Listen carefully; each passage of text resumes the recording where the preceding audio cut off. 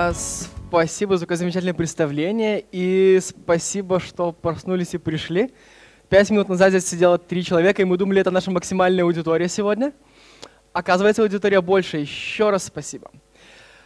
Да, сегодня мы расскажем и покажем несколько интересных кейсов, как команда и двух с половиной человек может улучшить качество своей жизни, разработки и делать лучшие игры. Представимся. Эм, меня вы наверняка знаете. Я вот, как, как видите по слайду, теперь живу в Швеции. Работаю в компании King. Я очень люблю DevGam. Я был на многих дивгамах еще тогда, когда дивгам назывался флешгамом. Здесь кто-нибудь есть, кто настолько же стар? Прелестно. Прелестно. Я чувствую себя лучше. Хорошо. И еще одно магическое слово на этом слайде Symbian. Когда-то я э, разрабатывал игры на Symbian. У нас есть достаточно старые люди. Отлично. Два. Два. А, кстати, для использования, у кого-нибудь были смартфоны на Symbian? Хорошая аудитория какая. Отлично. Отлично. Еще я работал в Unity. Я работал в Unity еще тогда, когда никто на нем не работал. Это была не модная технология. Unity iPhone 1. Я начал работать в Unity тогда. А еще у меня есть замечательные туники. Будем раздавать их за замечательные вопросы. Итак, а дальше представится Алексей. Это почти половина инди-компании его же. А, привет, меня зовут Алексей Гулев. Э, я инди-разработчик. А, последние два года я про полностью инди, больше ничем не занимаюсь. Э, до этого в геймдеве уже около 7 лет. Э, успел делать слоты, да, я этим горжусь, потому что одни из лучших слотов. Ребят, привет потом. А, да. делал мобильные игры на Unity, делал, делаю HTML5, э, портал, портальный и для мессенджеров. Но пос, наша последняя игра, которую мы сейчас делаем в нашей огромной команде из двух человек, это uh, Bring Me Cakes. Олег, покажи, пожалуйста, демочку. Мы собрали демку под HTML5, потому что ну, вам показать гораздо проще, а нам, Олег, там слайд. Там а, а нам это ничего по сути не стоило, потому что это делается буквально в пару кликов, но игра изначально мобильная. То есть это э, такой несложный э, э, пазл, э, где мы там история про красную шапочку, где мы должны собирать пирожки и идти к бабушке. Ну, такая классика. Вот, но мы не будем на этом заострять внимание. Я, наверное, перейду... Еще, еще один уровень. Очень хорошая Давай. игра. Очень хорошая игра. Еще один уровень. Ладно. Э, нужно было выпустить и как инди сказать, ребята, установите, поставьте лайки и пятерочки. Ну, но она еще не вышла. Идея для следующего доклада. А, давай дальше. Ну, ладно.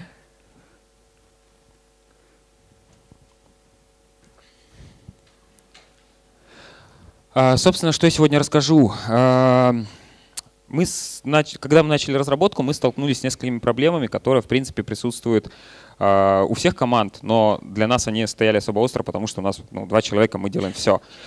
Первая проблема — это быстрое итерирование или как это выглядит на телефоне. То есть у нашего геймдизайнера есть желание быстро проверять результат своей работы итеративно на конечном устройстве, которым будут пользоваться игроки. Это имеет смысл э, как с точки зрения геймдизайна, потому что гораздо удобнее э, проверять э, геймплей, смотреть управление на именно устройстве, как, точно так же, как будут играть игроки. А, так с точки зрения UX, потому что нажимаемость удобно проверять нажимаемость кнопок, удобно проверять, насколько там палец дотягивается до тех или иных областей, как это выглядит.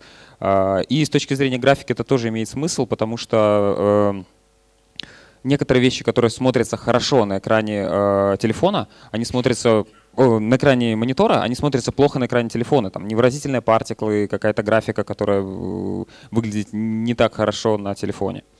А следующая проблема, с которой мы столкнулись, и в принципе любой столкнется, потому что э, невозможно сделать игру, не написав никакого нативного кода. В любом случае вам придется писать какой-то э, платформозависимый код. Это может быть какие-то функции Vibra, это может быть там Vibra на Android или э, Topic Engine на iOS. Это может быть реклама, это может быть аналитика. И в любом случае воз... рано или поздно возникнет потребность что-то поменять в чужом плагине, когда там по разным причинам. А, хочется иметь возможность э, делать это быстро и просто. А, следующим пунктом а, я рассмотрю возможность интеграции SDK и плагинов а, и дальнейшее тестирование, уже когда SDK и плагины интегрированы. Зачастую, когда у вас уже там десяток плагинов, итерировать и продолжать разработку очень тяжело, потому что время билда растет, возникают дополнительные сопутствующие проблемы, и, собственно, о их решении я расскажу. И следующая проблема, скорее так, взгляну на то, как можно сделать build-сервер на Defold е. Поехали по порядку. А, быстрое итерирование. Как я сказал, мы хотим быстро запускать игру на телефоне. Когда я говорю быстро, я имею в виду э, секунды, то есть не минуты, не часы. А, Defold устроен таким образом, что все ресурсы и runtime движка разделены. Это две раздельные части. Причем к ресурсам относятся как э, графика, звуки, шейдеры, а, модели, так и Lua-код логики э, для самой игры. Это ресурс. И э, вторая часть — это runtime, это непосредственно нативный код движка, который в Defold е хранится уже в собранном виде. То есть при build е игры каждый раз не нужно пересобирать исходник там, движка, build ить, компилировать. Это уже собранное под все платформы runtime ы. И поэтому сборка build а — это просто э, упаковка и подготовка ресурсов и плюс добавление runtime а. И это все упаковывается в нужный контейнер. APK, IPA, там, подписывается и дальнейшие процессы. Поэтому процесс самого build а занимает меньше минуты. Это происходит ну, очень быстро.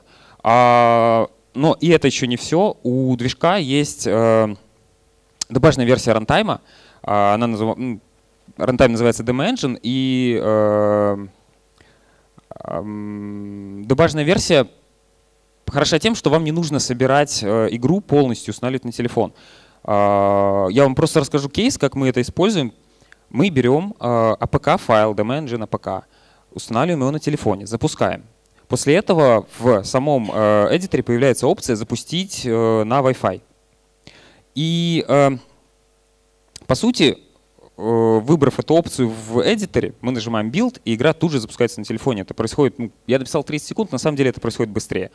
Таким образом, наш геймдизайнер может пересобирать build буквально там 100 раз в день. Он изменил что-то, посмотрел, как это выглядит, ему понравилось или не понравилось, он что-то изменил, смотрит дальше. Это у него не занимает практически нисколько времени, и он не отвлекает меня, он это делает сам. Хотя и обычный build на телефон установить он тоже может очень быстро, потому что ну, это минута и там, пару кликов.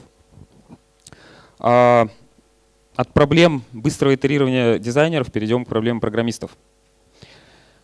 Как я говорил, от э, необходимости использовать нативный код никуда не деться. И для того, чтобы очень хочется иметь простую возможность изменять э, нативный код, нативные плагины. Почему, ну, зачем это может понадобиться? Э, некоторых плагинов может просто не оказаться нигде в интернете, их никто не сделал, вам хочется интегрировать самому, это понятно. И вторая причина, ну, я не знаю, я точно сталкивался с проблемами, я думаю, может кто-то из вас сталкивался, когда э, сервис обновил свою API, но разработчик какого-то плагина еще не успел его обновить, и у него нет на это времени. То есть по тем или иным причинам. А вам нужно использовать вот вас продакшн. Вам нужно прямо сейчас, и вопрос, э, нет времени ждать. Э, писать свой нативный плагин, поднимать натив, э, среду, э, там, использовать IDE-шку, настраивать компиляторы под свое под Java, свое под э, iOS. Ну, так себе удовольствие. Э, может, кто-то любит, я не очень. и у нас нет таких, у нас два человека. Э, на дефолте это происходит просто я открываю э, IDE-шку, либо блокнот, и пишу код под нужную платформу. В зависимости от платформы это может быть либо Objective-C, либо Java и C++ для связки этого всего. Складываю э, этот, эти файлы, которые я написал, в определенную структуру. В мануалах есть указанная заранее структура. Э, просто раскладываю эти файлы по папкам, э, прописываю манифест файл, нажимаю build в самом дефолде, и э, нативное расширение билдится на клауд-серверах дефолда. Это происходит достаточно быстро, и мне совершенно не нужно заморачиваться на окружении. То есть ни компиляторы, ни какие-то другие там, вопросы настройки окружения меня вообще не волнуют. А, если возникли какие-то ошибки, у меня тут же в дефолте появляются ошибки компиляции, я их смотрю, исправляю, а, опять нажимаю build и опять смотрю результат ну, и привожу это все в порядок. А, Ну и пару слов о том, как устроено нативное расширение. Входны, точкой входа в нативное расширение является C++ файл, в котором вы просто подключаете модуль Clua. Э, вы можете там писать кроссплатформенный код, вы можете писать э, там платформозависимый код, разделяя дефаймами под каждую платформу. Также у Default есть Default SDK. Это функции движка, доступные из нативного кода.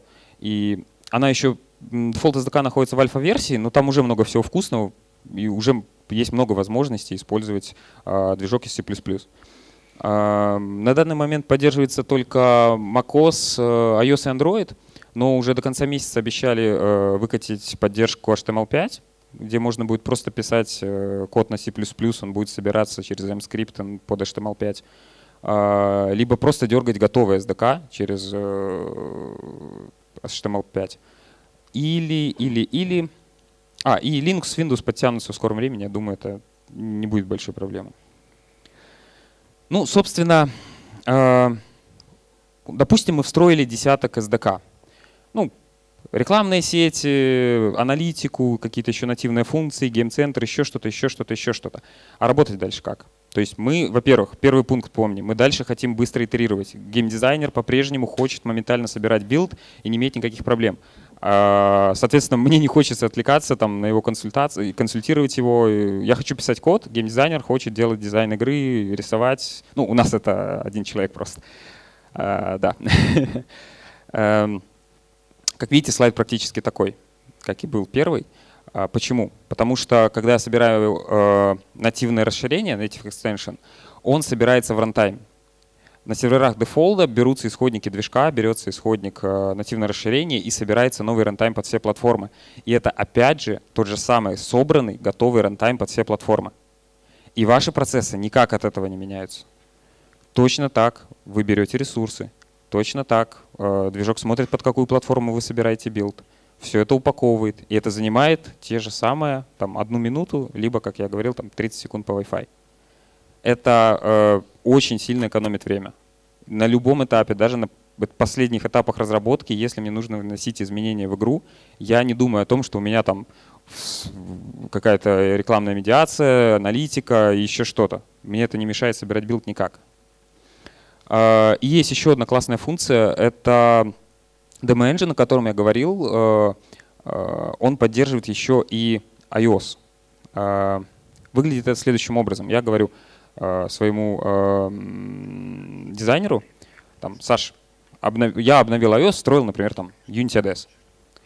А, он заходит в дашборд дефолда, нажимает две ссылки, скачивает себе IPA на свой iPad, устанавливает, запускает. А, после этого в опциях его редактора на Windows появляется возможность запустить игру на iPad. И опять же это происходит за те же 30 секунд. То есть это происходит практически моментально.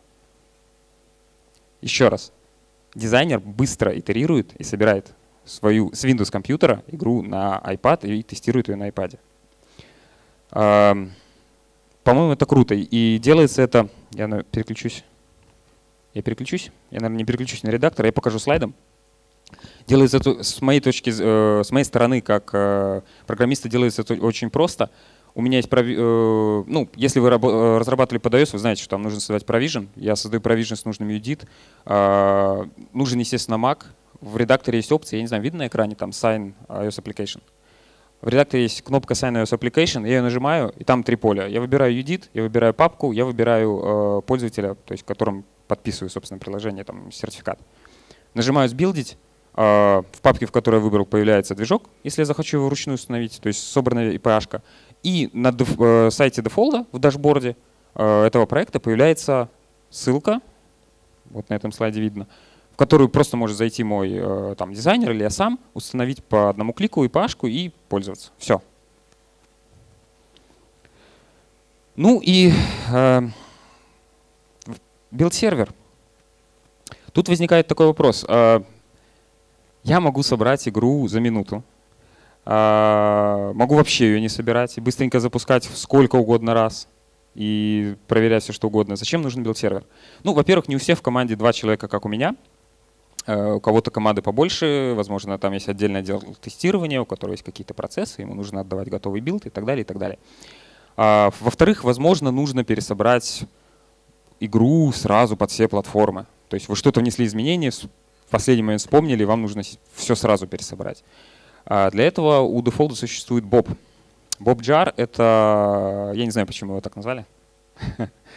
Эм, это консольная утилитка, которую можно... Эм, которая умеет все то же самое, что умеет эдитор для сборки билдов. То есть, но ну, делает это через терминал.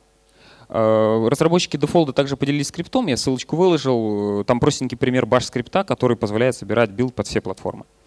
Э, например, я на основе этого скрипта сделал себе сборку у меня там по одной команде в консоли сразу собирается iOS Android. Э, если к компьютеру подключены какие-то iOS Android устройства, билд сразу туда ставится. Ну, там предварительно все удалив, почистив, если что-то нужно сделать быстро. Ну, по основной теме все. Э, так вышло, что у дефолда э, сообщество, Asset Store, можно сказать, все еще в разработке, и все наработки сообщества лежат на GitHub, там есть много чего, но я, в частности, поучаствовал в разработке DevUnity ADS. Это плагин интеграции э, Unity, видеорекламы Unity ADS под, пока под iOS, сразу после DevGam я сделаю под Android, честно.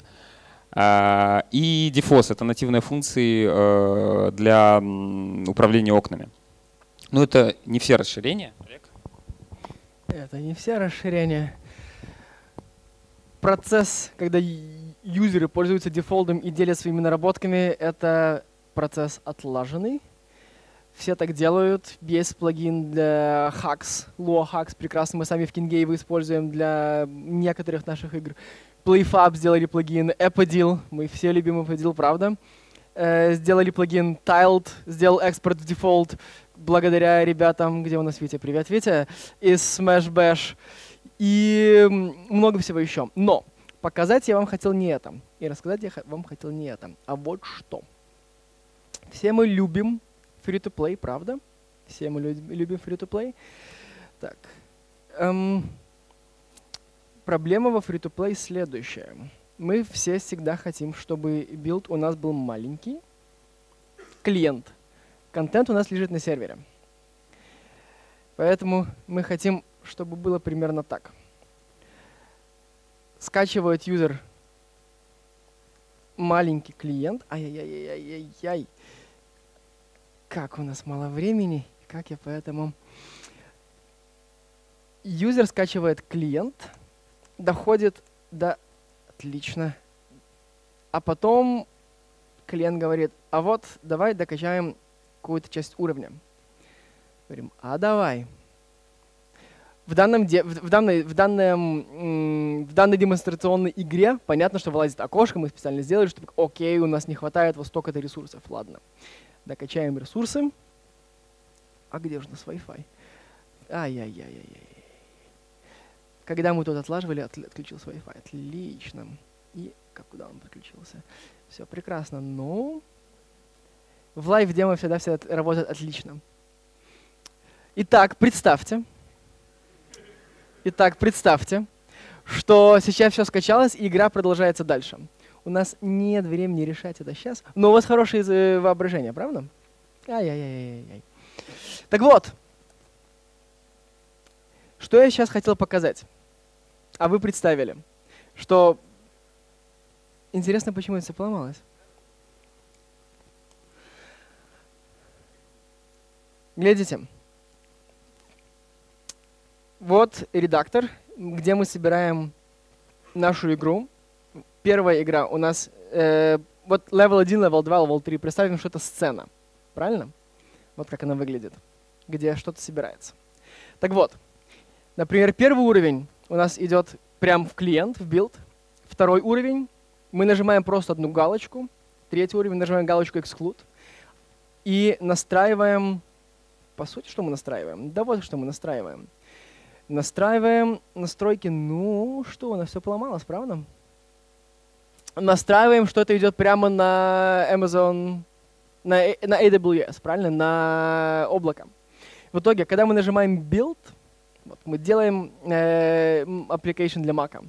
В итоге у нас вот первая сцена идет в клиент, вторая сцена Бабам, exclude. И третья сцена. Идут на облако. Дальше понятно, что мы все равно пишем код. Мы смотрим в коде, если, все ли ресурсы у нас скачаны, чтобы в следующий раз, когда юзер играет в игру, эм, проверяется, если скачан контент или нет. Если нет, мы его скачиваем, проверяем, все ли нормально скачал, скачалось, и загружаем его, отдаем его юзеру, игроку. Игрок может, не перезагружая клиента, продолжать играть свою игру. И это шикарно. Вы подумайте, какие возможности для оперирования это открывает. Вы просто кидаете новый контент. И все, и оно все работает. Причем новый контент, обновленный контент со, э, э, на сервере со, с предыдущей версией клиента будет, скорее всего, совместим. Почти всегда. Э, в данном примере, который я показал, около 3 мегабайт занимает движок, около 7 мегабайт занимает контент. около, да, 0,7 мегабайт занимает контент. И тут сразу в голове стреляет так, «А, так, игры для чатов можно делать. Да, игры для чатов можно делать, они влазят. Движок, который умеет делать игры для чатов. Найдите еще один такой движок. Так вот, это уже работает и есть уже сейчас. И учитывая, что у нас осталось 5 минут, давайте мы закруглимся. А сегодня вы узнали – а сегодня вы узнали, что даже в маленьком продакшене из двух с половиной человек можно использовать взрослые технологии, как билд-сервера, continuous integration. И вот все это, что обязательно имплементится в больших командах и очень редко используется в маленьких командах, потому что обычно это сложно сделать. Так вот, основная цель этого доклада была показать, что есть ряд процессов, которые прекрасно входят в маленькие команды, если их легко сделать. Вообще разработка игр это сложно, мы все это знаем.